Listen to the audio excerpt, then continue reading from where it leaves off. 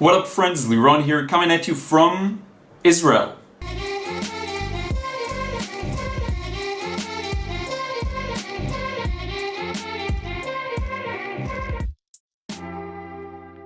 What up friends, Liron here. Thank you for joining me in another video. Um, I had a few very busy days and apologies for not updating, but I actually uh, came back to Israel on the 29th of uh, June and I'm back here. Um, I didn't really keep you updated about, updated about that. Again, apologies about that. I also want to apologize for skipping a day. I literally did not plan to skip a day on the videos, but just the video took so long to be exported and uploaded that I was just forced to postpone it to the day after because what I find is that when I don't do that and I just say mm, okay I'll just publish it um, later in the same day just it gets significantly less views and then it gets ran over by the next video because I do it daily.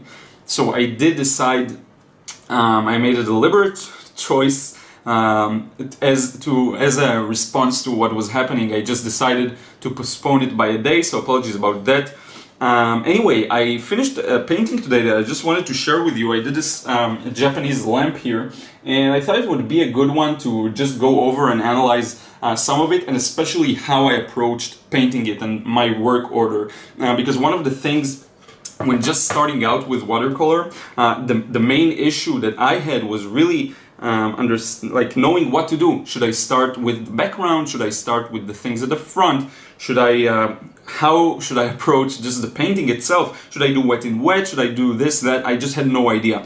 Uh, and now I'm starting to feel like I'm getting uh, the hang of how to approach these kinds of things, okay? Um, and as I mentioned, I said that I will do a lot more paintings off camera. Um, and as a byproduct, it, it, just means that there will be a lot of uh, videos of me showing paintings I've done and not necessarily just processes. Um, so this is a good way to start that because I feel like off camera I'm more focused, uh, I learn more and my goal here is to improve and if I can just pump out a major improvement uh, in the next few months I can just give much better content in the future.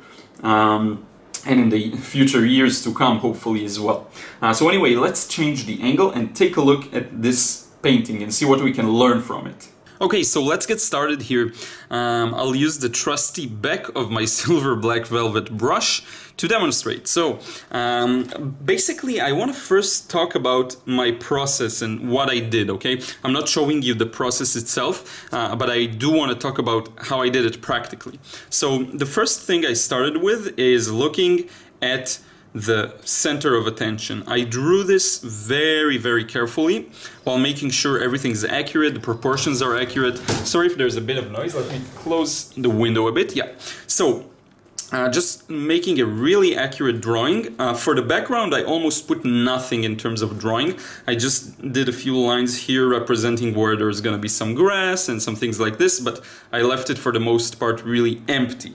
Okay, now um, if you look at the reference image, um, which hopefully I will put um, again somewhere so you can see it, this is very bright, but it also has the strongest contrast. So there is the darkest and the lightest. So to uh, make use of that, I decided to first work on the lamp itself and only then do the background while negative painting. Okay, so the first thing I did was actually to put in, you see this very thin, weak wash of blue. Here there's um, uh, a little more uh, stronger wash.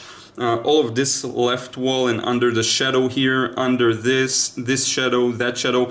Uh, I used a very light initial wash just to put in the major shapes of the shadows. Um, I used for this entire painting burnt sienna, French ultramarine for the lamp, and for the background I used uh, again the French ultramarine, but together with chromium yellow and magenta. Okay, um, so anyway, I just put in that very light uh, wash and filled it up completely. This area, all the way down here, all this left side, all of this uh, right side, sorry, all of this right side, under that, everything.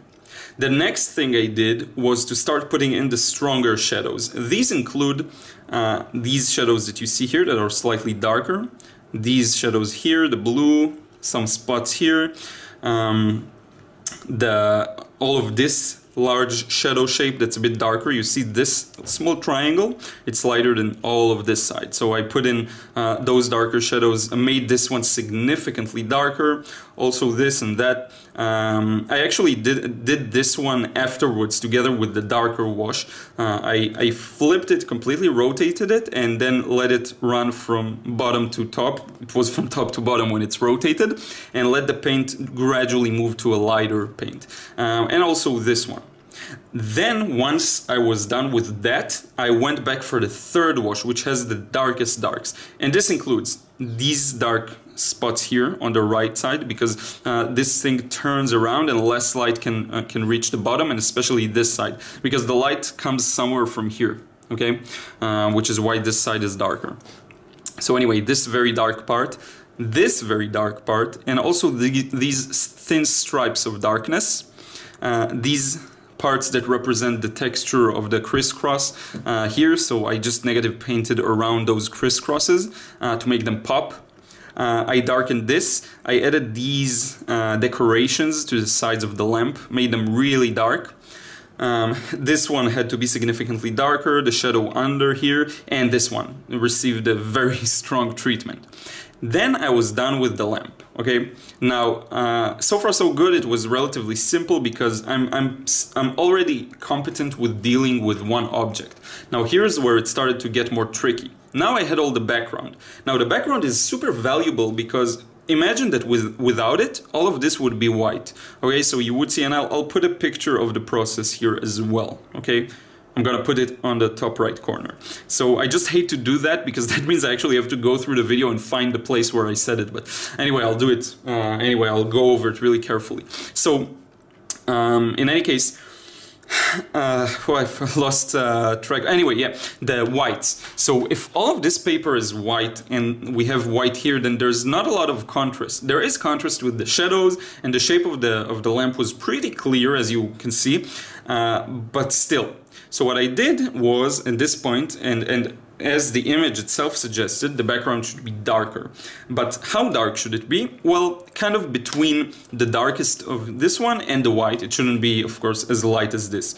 Um, now, when you do something like that, you have an opportunity to play around with how dark the background is to, to complement the object. So in places where it's very light, I used some dark backgrounds.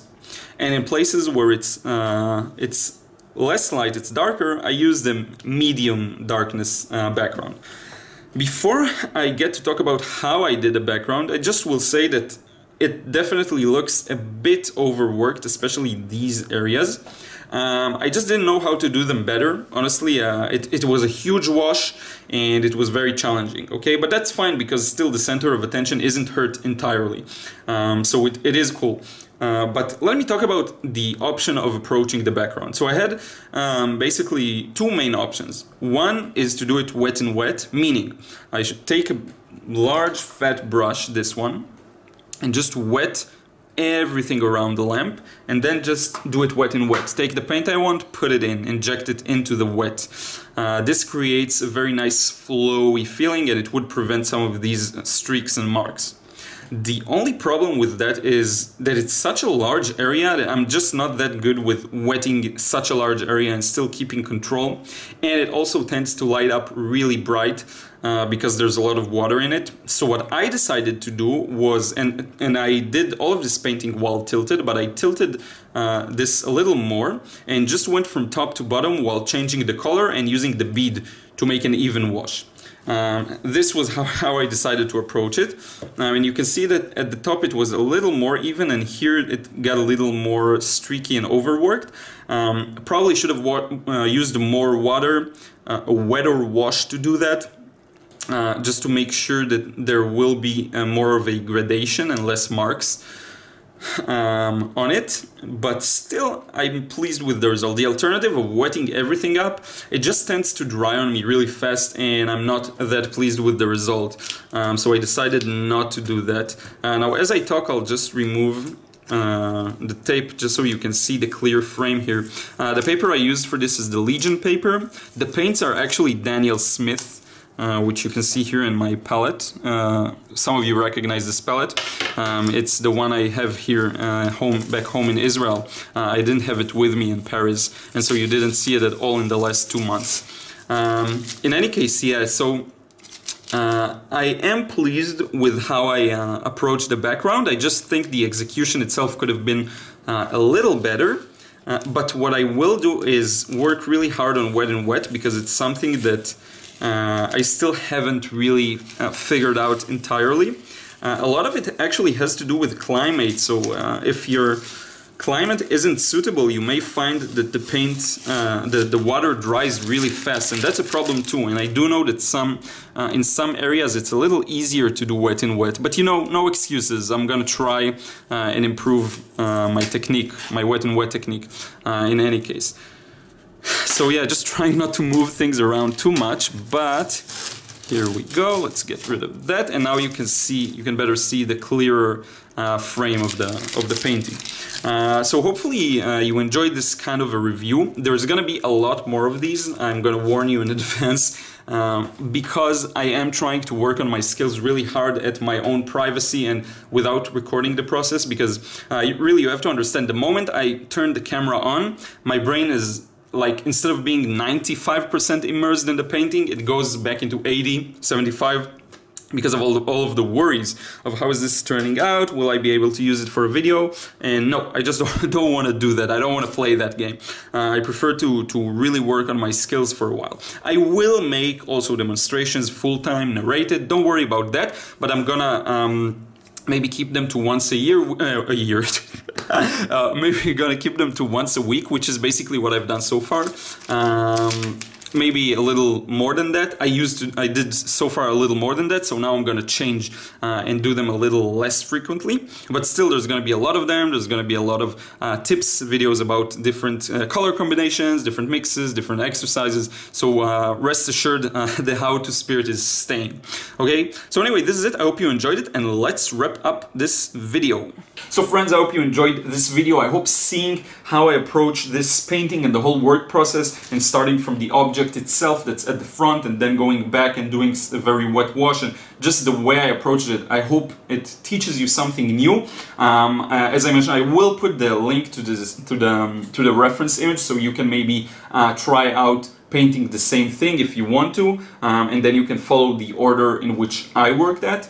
Uh, and yeah, hopefully that helps and I will see you again in another video tomorrow.